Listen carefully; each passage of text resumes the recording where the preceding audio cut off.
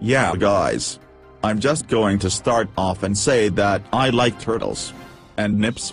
The real ripe ones though. Sweet as do I, sir. Go tell daddy, bitch! Oh Carl is that really needed? Guys. I know I'm fat but does that really mean you can be silly like this? Okay let's get to the point.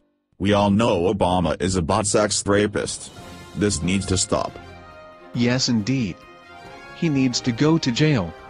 At least I look like the right gender, bitch! Agreed.